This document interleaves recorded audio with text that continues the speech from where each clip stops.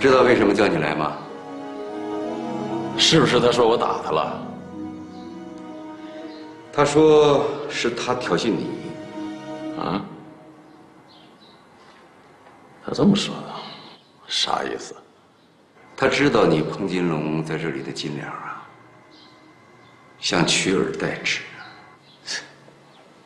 彭金龙，你犯的什么罪，你心里很清楚。估计在这里没个十年八年的，你也出不去。不管我们愿意不愿意啊，你都是这里的老人了。把你叫来呢，是想告诉你，我们可不愿意除你之外，在这里又冒出个牢头狱霸什么的。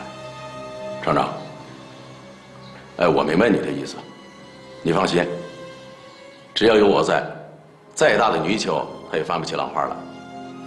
这就好。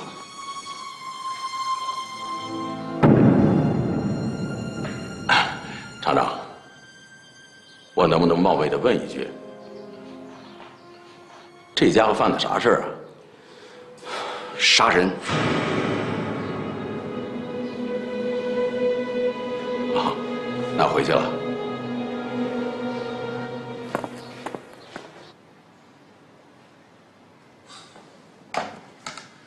赵岩啊，陈雷同志那边还好吧？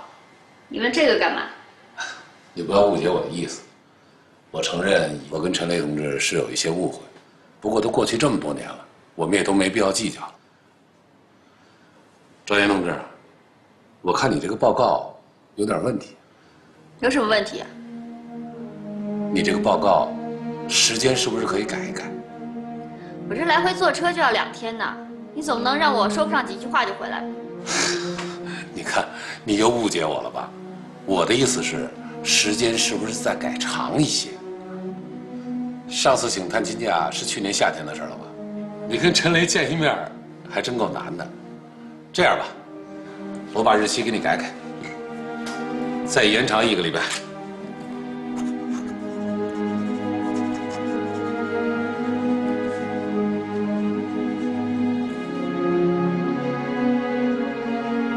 这两天就别来上班了，在家好好准备准备。张岩，你看，有个事儿，我想请你帮忙。什么事儿？你也知道，现在是非常时期，我来档案室工作这么久了，一直是个副职，想起来心里总有点冤。你不要怀疑自己，你能力这么强，肯定能选上。哪里哪里，赵书记那里，你能不能帮我去把情况再说说？行，这次你帮我延长了假期，我还不知道怎么感谢你。应该的，应该的。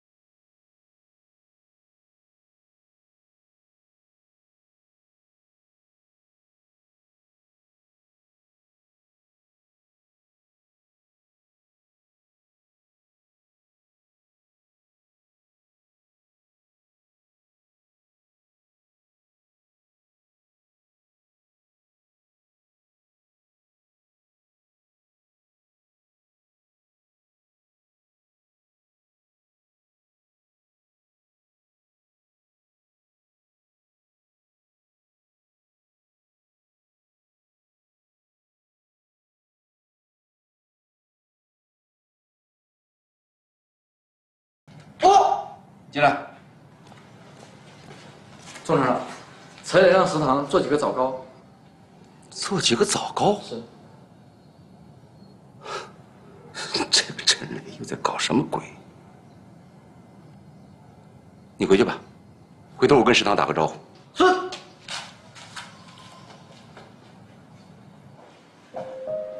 导演，以后在单位啊，轻易的求别人帮忙，也不要轻易的答应帮别人的忙，尤其是这种事情。我说金玉生怎么那么好心呢？原来他是有目的的。金医生这个人品质有问题，改天我要给组织部的李部长好好的谈谈。爸，你试试。你做的？我哪会做呀？秀娟做的，她跟你跟陈雷一人做了一双。我试试。可家伙，比我的皮鞋舒服多了。那就好。哎，我这两盒茶叶，你给陈雷带上。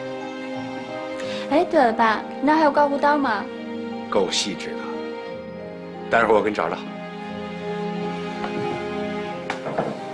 爸，我不在家的时候，你要好好照顾自己。爸知道，你放心吧。告诉陈雷，让他农场好好劳动。等我把这边的接收单位联系好了，我就接他回松门。啊，好，去收拾。吧，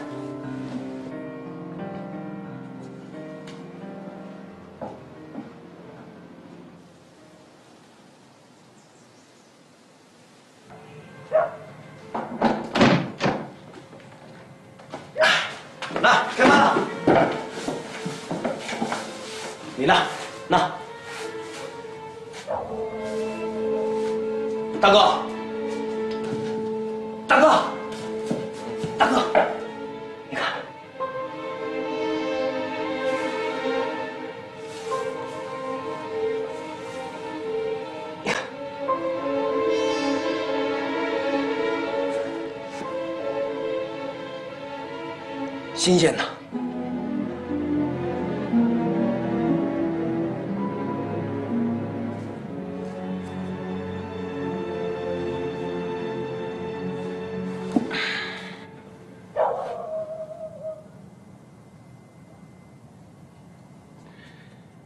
兄弟以前在哪儿发财啊？松嫩。我听他们说，你也是因为杀人进来的。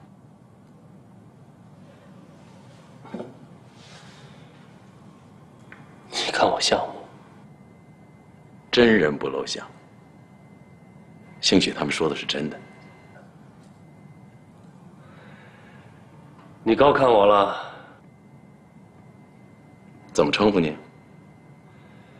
陈雷，尔东陈。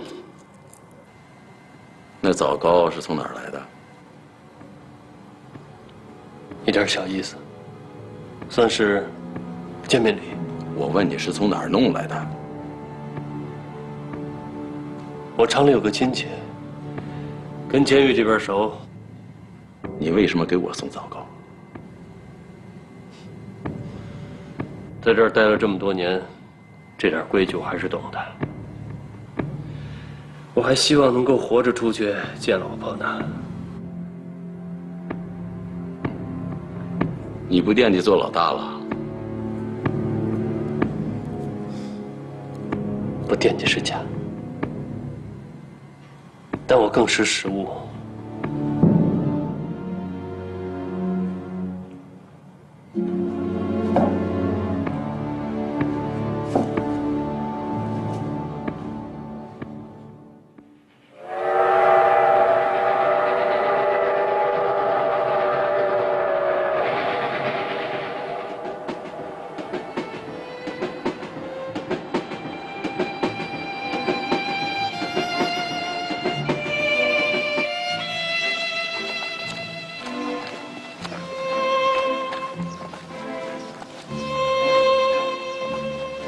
同志你找谁？我找第三小组的陈雷这是介绍信。好那你进去吧。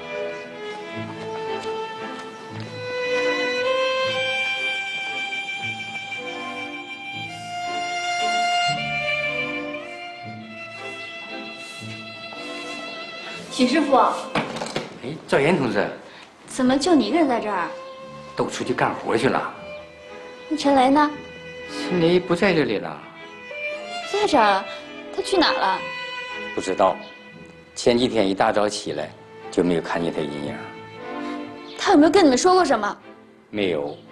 要不你把东西先搁在这里，到厂部去问问吧。谢谢，麻烦你了。不客气。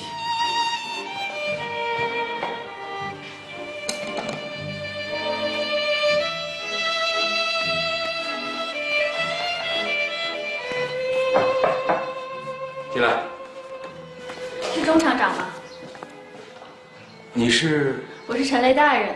哎呦，你是赵岩同志吧？来来来来来来来来来，坐坐坐坐。我给你倒点茶啊。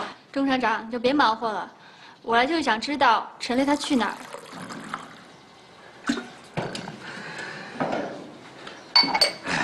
来来来，坐坐坐坐坐，咱们喝点茶啊，慢慢说。你把陈雷安排到哪儿去了？呃，陈雷他现在挺好的，真的。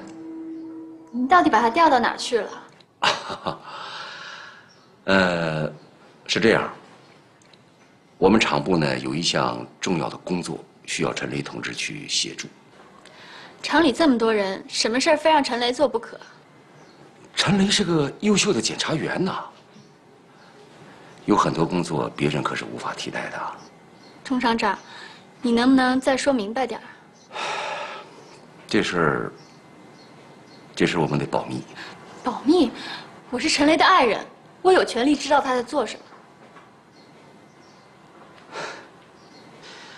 你要这么说，我也可以告诉你，但是这关系到陈雷同志的安全。到底怎么回事儿？陈雷正在执行一项调查任务。调查任务？他这下放劳动呢？这儿又不是检察院。赵岩同志，我希望你不要激动。他到底去哪儿了？为了工作的需要，我们暂时把他安排在狱区。狱区？他又不是犯人，他去那儿干嘛？这是陈雷同志他自己提出来的要求。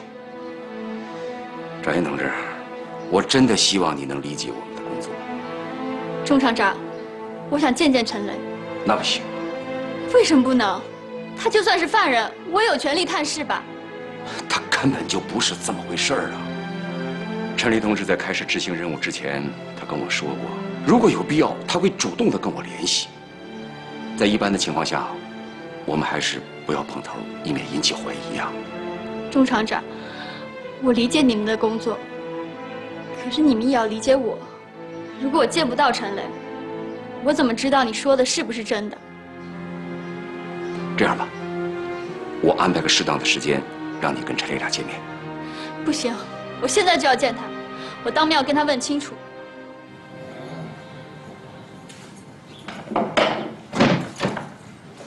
陈琳，你出来一下。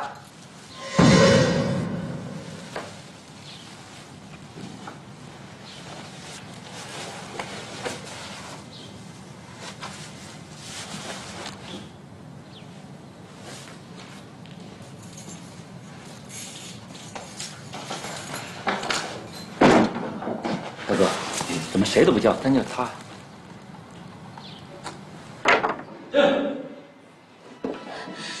陈雷，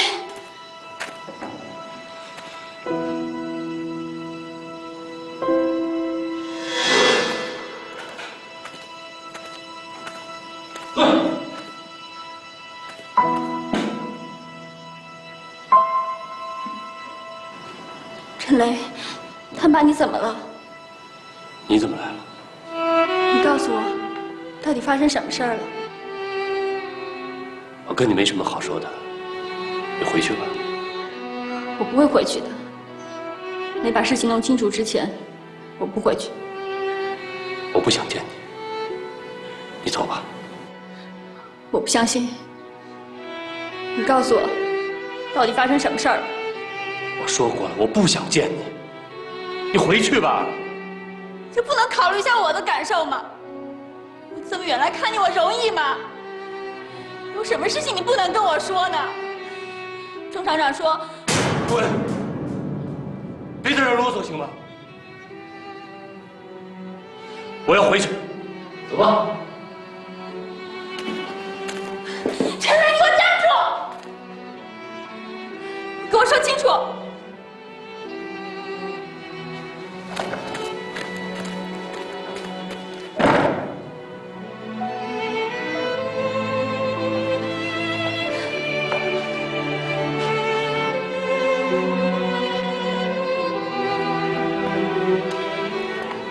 见到陈磊了。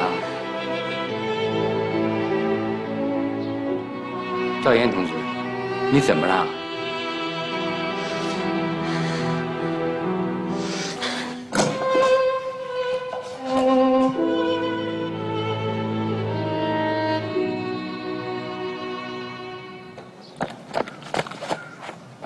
大哥，问了吗？昨天三号房的小四儿也去了探视室，他说来了个女的，好像跟他关系很密切。都听他们说什么了？小四儿说，他们没说上几句话，就吵了起来，好像还提到钟厂长。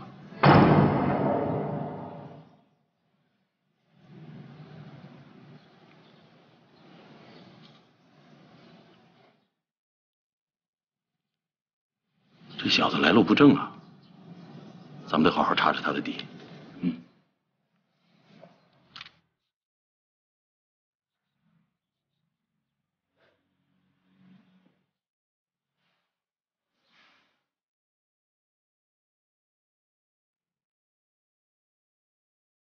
兄弟，你来这么久了，我连你是什么来路都不知道，真是惭愧啊！看来还是那句话，真人不露相，露相不真人。我说过，你高看我了。能让农场给犯人做枣糕，你可是头一份啊我看你不简单。没想到这么点小事儿，还让你这么一直惦记着。我们这些江湖上的人，认的就是一个义字，最恨的就是卑鄙小人在背后捅刀子。我想你不会吧？大哥，磨好了。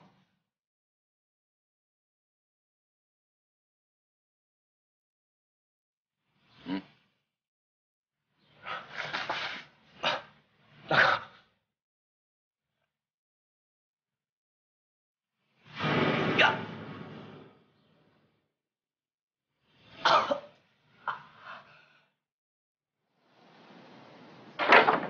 谢谢。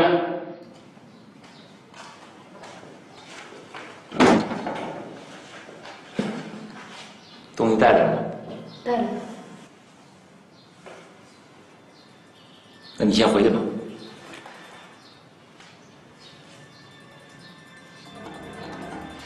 等一下。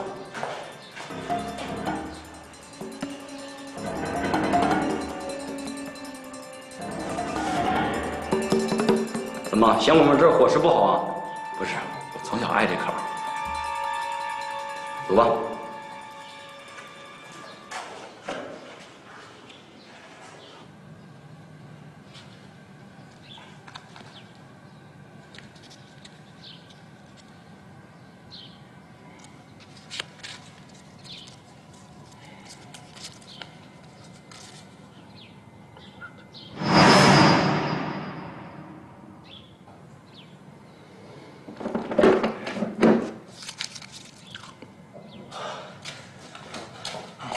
大哥，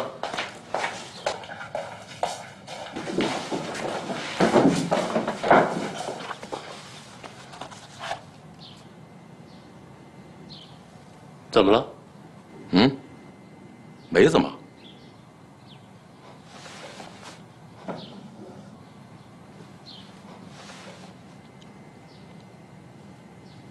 看什么看？一天活没干够是吧？再做三百个仰卧起坐。大哥，我我我没，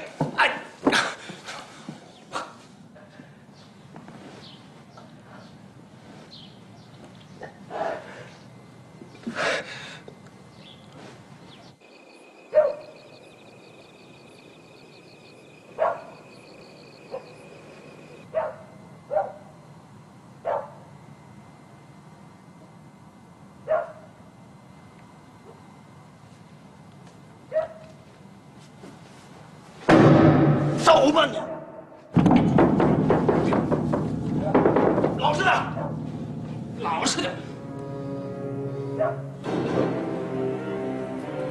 对不起了，陈检察官，让你受惊了。还不动！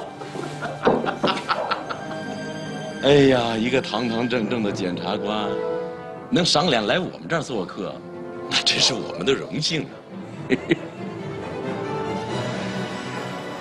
给他解了。大哥，他要是大声嚷嚷怎么办？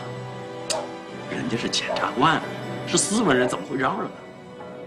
难道他不知道，嚷嚷出来对他没有好处啊？你说我说的对不对？啊？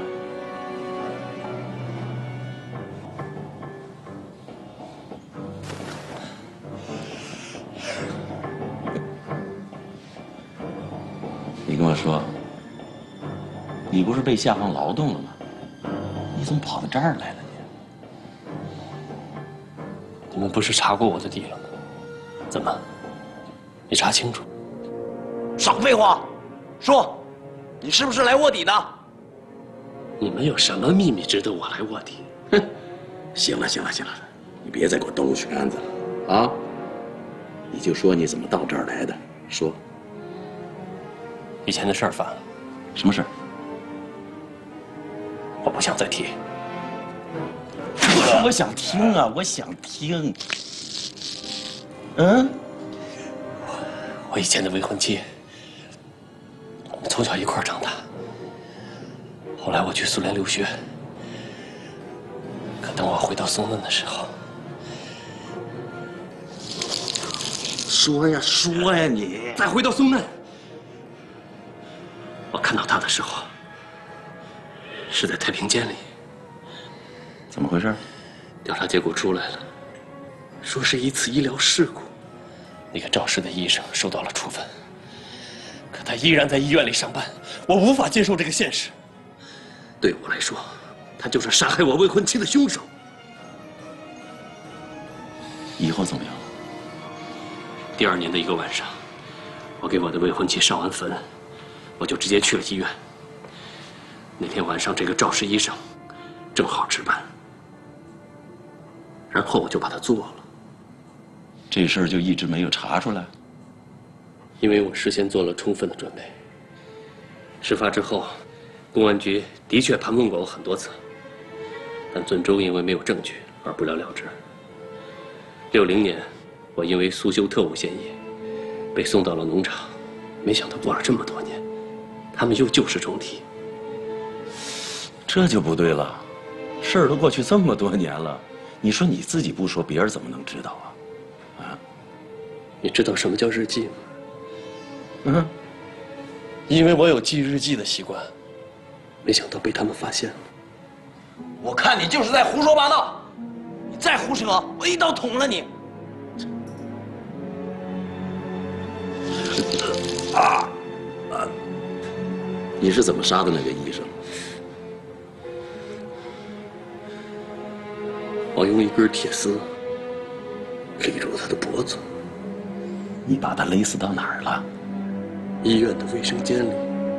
那你用过的那个铁丝，我扔了。扔哪儿了？扔到了烧开水的锅炉里，化了。所以他们一直找不到直接的证据。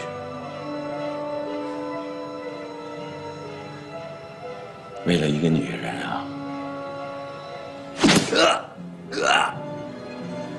是你，我就不这么干了。我信你，你做事有你自己的理由，可你的理由放在我这儿，就未必合适。大哥，千万别相信他。我说过，像你这种人，不要用这种口气说话。你不信他是吗？你来，你把他给我杀了。动手啊你！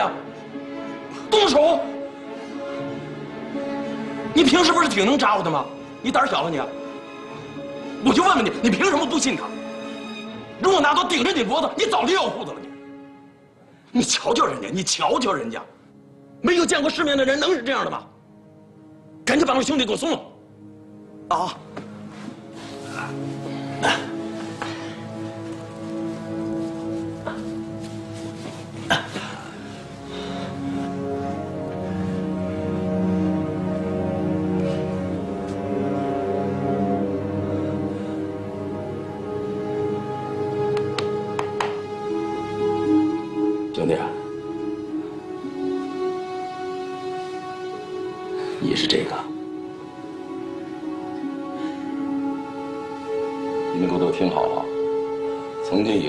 谁要不尊敬陈雷兄弟，那就是跟我彭金炉过不去。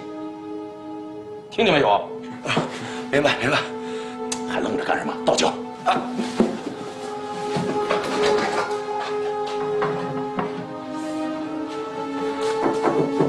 大哥，陈雷兄弟，以后咱们就是自己人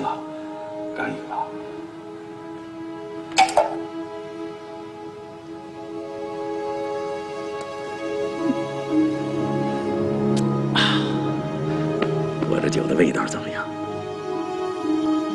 够意思。真的呀？哎呀，行了行了行了。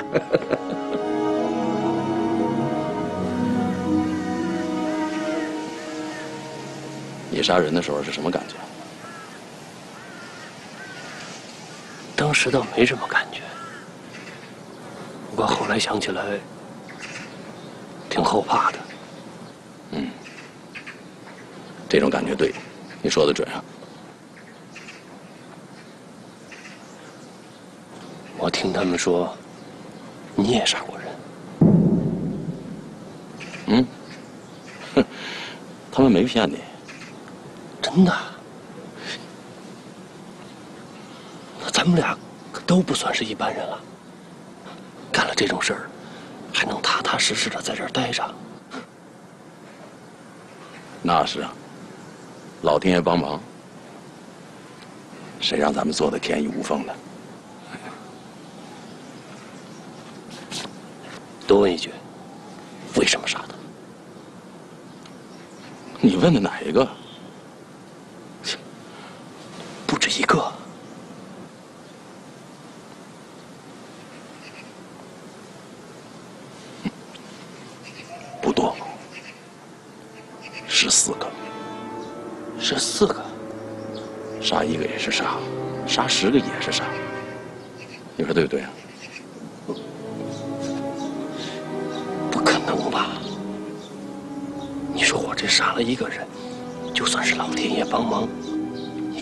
么多，还都没事儿，那你真是高手啊！行了，你别夸我了。好汉不提当年勇，我就再高手，还不如跟那两个怂包一个下场，挤在同一个号子里边。大哥，话不能这么说，那人跟人分量还不一样呢。现在想起来，刚来的时候，我还惦记坐你的位子，真是自不量力，自不量力。实话说吧，你能有这个志向，我就刮目相看了。虽然你面相斯文，可是你的内心还是那么带劲儿。我觉着，你不是一般的人。别别别，大哥，你你可别把我说的太高了。但愿我以后真能变得不一般。但是能跟你在一起，那可能是我唠叨一辈子的荣耀。十四个人在你刀下做鬼，那是何等的风光啊！方便说说，你是什么时候开始的吗？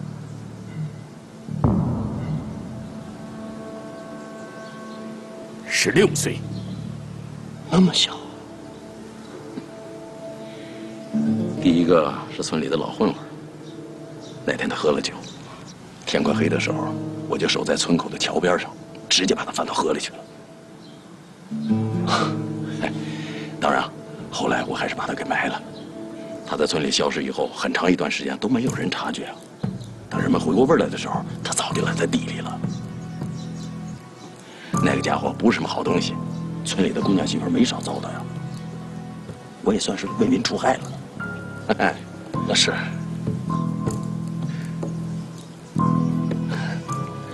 大哥，我记得你说，如果你要是换了我，你绝不会为女人去杀人。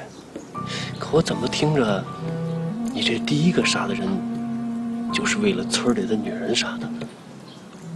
你这么早就行侠仗义了，要说这十四个人里，没有一个是你为你的心上人杀的，我还真不相信。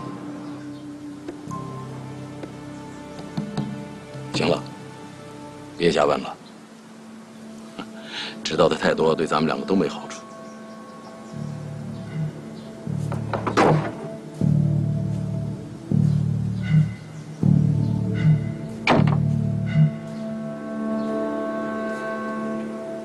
陈烈，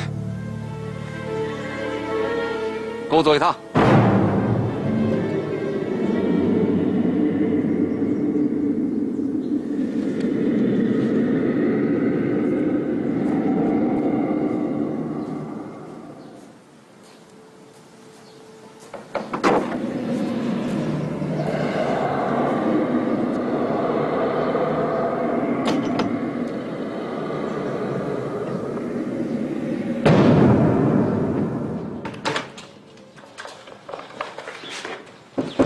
钟厂长，你临时改变计划，会增加彭金龙的猜疑的。你听我说啊，计划取消，你也不用回去了。那他的证据找到了？那为什么？上级领导知道了我们的计划和安排，对我是大发雷霆啊！你怎么不解释，说是我自愿的呢？解释有用吗？宋人是被领导过问了这件事儿，是不是你媳妇儿折腾的？你说赵岩，这不是添乱吗？钟厂长，你帮我给他拨一电话。别别别，别再把这个事搞复杂了。彭金龙的证据找不到没关系，他还在咱们手里压着，咱可以慢慢找。要是上级领导觉得我这个厂长不听话，那我也就不用干了。哎，不过你放心啊，我答应的事儿照准，有要求你还是可以提。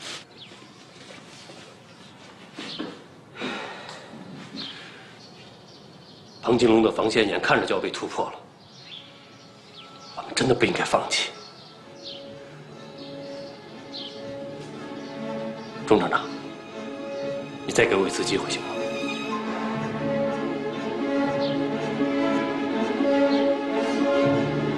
只要不亏监舍，我看可以考虑。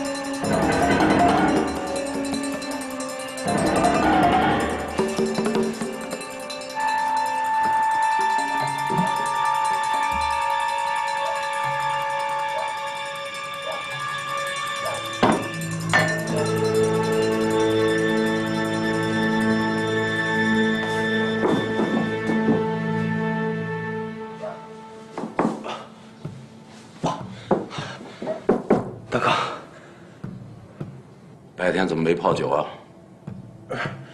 白天干活的时候没弄着山皮，越来越想吃干饭的了。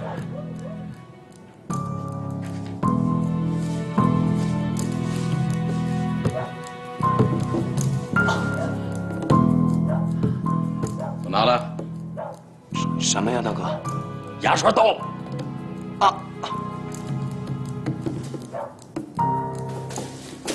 刷刀呢？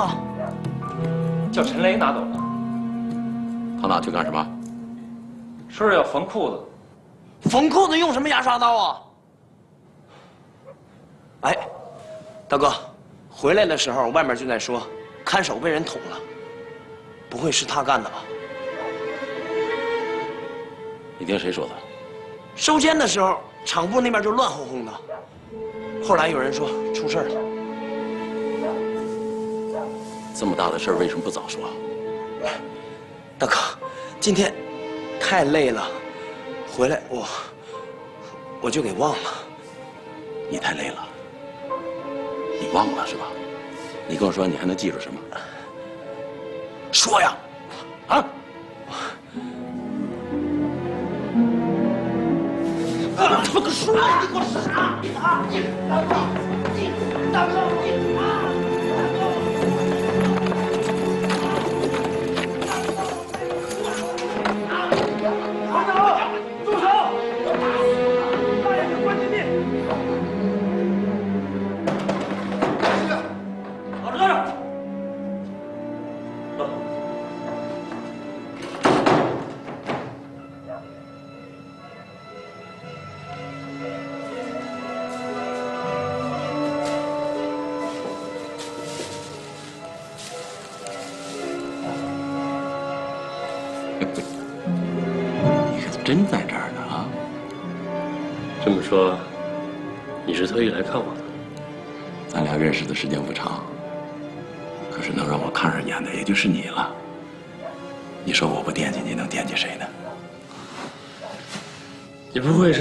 放心吧？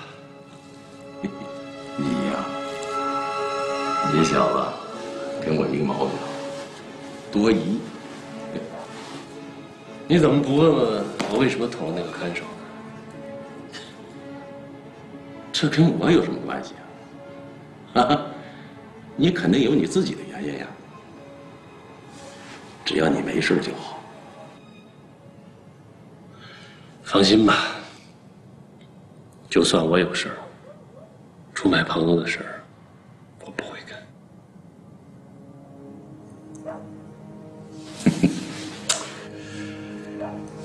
咱们两个呀，都是性情中人呀，有很多相似的地方。别的不说，就你为自己的女人肯杀人这件事上，你就是这个。听你的意思，你也为你的心上人杀过人？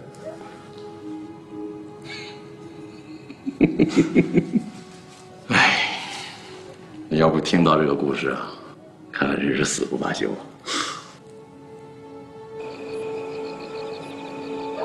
灯怎么还没灭啊？会不会出事啊？你急什么？我杀的第二个人，就是为了一个女人。那年我二十七岁，我就是爱她，因为只有杀了她，她才能真正属于我，属于我一个人。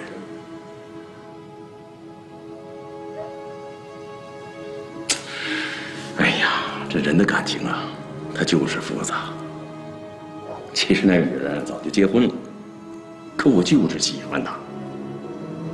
我总是站在我们村口的那个桥上，远远的看着他。虽然我们没有说过一句话，但是我知道，他是我的。从那以后，我就养成了一种习惯，每天晚上没事的时候，我就去那个桥头上坐坐，啊，抽根烟。因为他埋在这儿，对你来说，就感觉是在跟他幽会，对吗？这就是我办事的方式。我对我的朋友也是这样，只要让我看上眼的，我都会用我自己的方式跟他们相处。听明白了，所以你就用你的方式对付了你的这些朋友，把他们埋在村口的那个桥的下面。抽空你就去坐会儿，抽颗烟，跟他们聊聊。哼，你真不愧是做过检察官的人呀，厉害，厉害！多你这么一个朋友，是我一辈子的荣幸。朋友？嗯，你什么意思？我看你是猜对了，我就想要你的命，知道吗？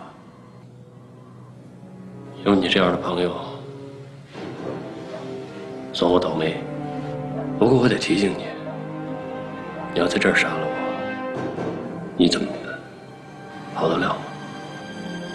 这个可不用你操心。如果你真是我的朋友，明年的今天我会给你烧纸的。如果你是来调查我的，那我也没办法啊，咱们只有同归于尽了。